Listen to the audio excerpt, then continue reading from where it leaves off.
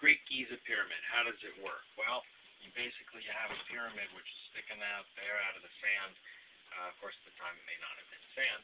And you're getting static electricity discharge. To keep that static electricity discharge from actually coming down to ground, they do a couple of things. Number one, you stick it in a moat of water.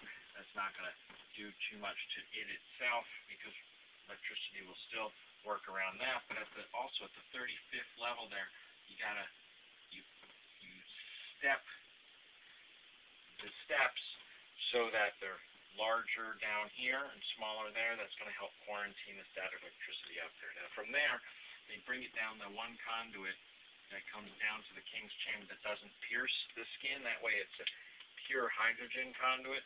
That brings it down into the king's chamber. You're going to get that hydrogen into the king's chamber. You're going to mix it with the oxygen. You're going to bring hydrogen and oxygen up from the bottom section. We're going to get to that really quickly, but bring that hydrogen oxygen up there, mix it together to make water. I should have had a blue pen. Don't. Okay, we're going to imagine this one's a blue pen.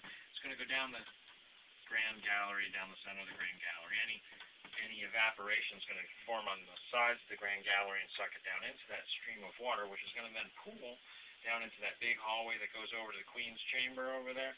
That, that big hallway is going to pool there. It's deeper on this side. Did you ever notice that? It's deeper on that side, so there's more water over here. There's actually another thing in there that they since filled in that was right in front of the niche. That niche is going to kind of act like an antenna to pull the static electricity up into the room. A couple of other factors in there.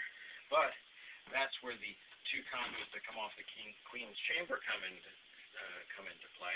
They never actually came into the room. They didn't. They had to drill through five inches of rock to find them. The only reason they knew it was there is because there was a crack in the wall from the, all that static electricity penetrating through the rock to that conduit over years.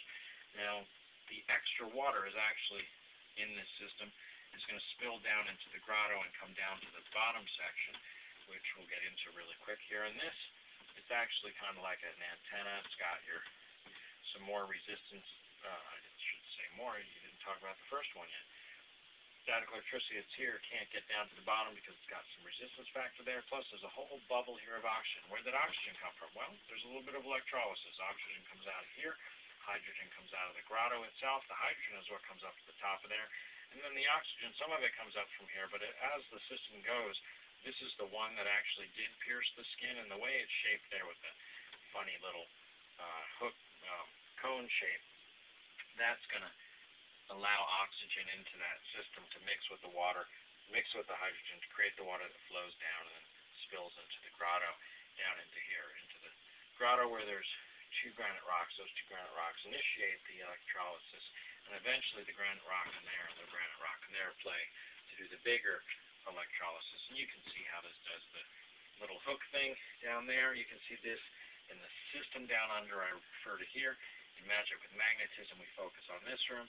Pyramid system, we focus on here. Upper system, we talk about there. Lower system, we talk about there. Pressure to tap, we talk about how it actually all comes together to finally work. Have a nice day. If you have any, well, have a nice day.